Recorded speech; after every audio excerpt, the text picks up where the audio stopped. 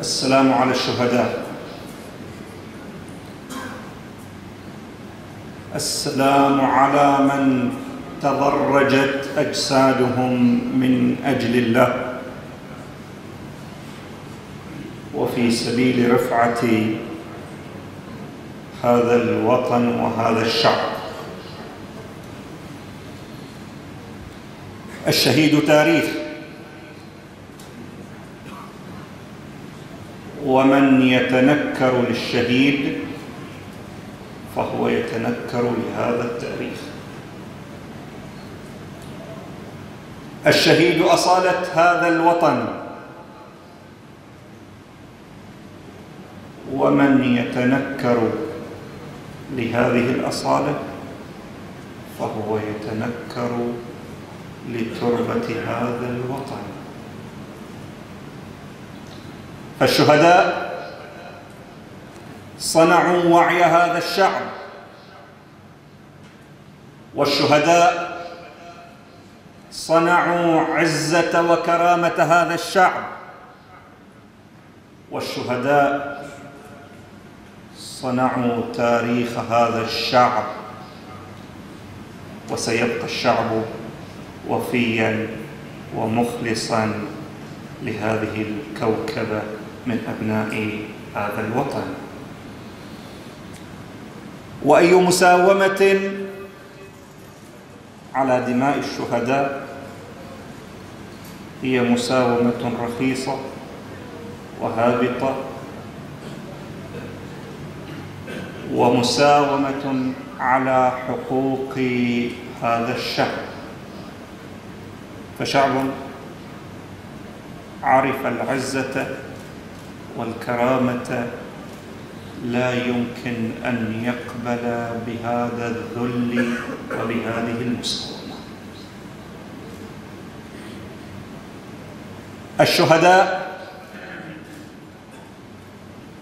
شهود على تاريخ من الظلم ومن الجور الشهداء شهود على كل الجنات والطغاة وسيقفون يوم القيامة يحملون قارورة من دم ويخاطبون الله سبحانه وتعالى فلان ظلمني.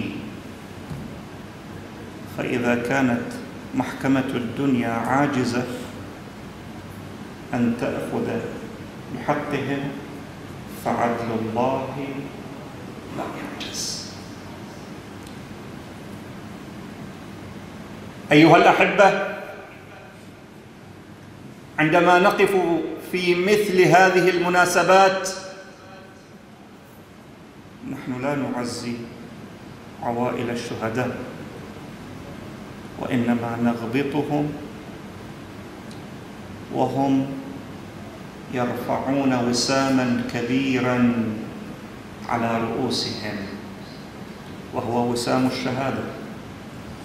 وهو وسام كبير وعظيم عند الله سبحانه وتعالى.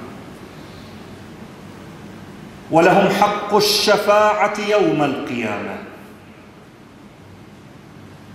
كمال الشهيد هذا الحق أن يشفع يوم القيامة. فعوائل الشهداء لهم هذه المرتبة عند الله سبحانه وتعالى. وعندما نقف في هذه المناسبات نحن لا نستذكر أحزانا وإن كان الفقد يؤلمنا. ولكننا نستذكر مواقفا بطولية صنعت إرادة هذا الشعب وصنعت ثبات هذا الشعب وصنعت صمود هذا الشعب. فحري بهذا الشعب الذي أنجب هذه الكوكب من الشهداء أن يرفع رأسه عاليا ليفتخر بهم ويعتز بهم لأنهم رفعوا رأسه وسيكون هذا الشعب وفيا لهذه الكوكبة أيها الأحبة في كل ذكرى من ذكريات الشهداء نحن نستذكر تاريخا ننتمي لهذا التاريخ. تاريخ عزة تاريخ كرامة تاريخ فخر. نحن من أبناء مدرسة. إني لا أرى الموت إلا سعادة والحياة مع الظالمين إلا ظلمة هكذا تربينا أيها الأحبة من هذه المنابر. ومن هذه المدرسة أن ننهل من معينها لنكون في درب الشهداء. ونحن من مدرسة والله إن قطعتم يميني إني أحامي أبدا عن ديني. هكذا هي مدرسة الشهداء التي نعتز بها ونفتخر بها. إننا من مدرسة. كيف تجد الموت؟ قال يا عم فيك أحلى وهذا فخرنا وهذا عزنا. أن تتنشأ وتتربى هذه الأجيال على هذه القيم وعلى هذه المبادئ السامية. التي رفعت صوت الإسلام. إننا من مدرسة والتي خاطب فيها سيد الشهداء عندما خاطبه علي الأكبر. أولسنا على الحق؟ قال بلى. قال إذا لا نبالي. هكذا هي مدرسة أهل البيت. ومن ينتمي المدرسة فهو يمتثل يمتثل لها في كل جوانبها في أقوالها وأفعالها في سلوكها وفي وعيها. أيها الأحبة اسمحوا لي أن أقف بضع دقائق مع شهيدنا السعيد محمد سهوان. فقد عرفته بابتسامته أول ما يقبل عليك. ترى هذه الابتسامة وكان مصداقا لقول النبي الأكرم صلى الله عليه وآله وسلم. ابتسامتك في وجه أخيك. فكان نعم الشاب الذي يقبل بوجهه وبقلبه عليك.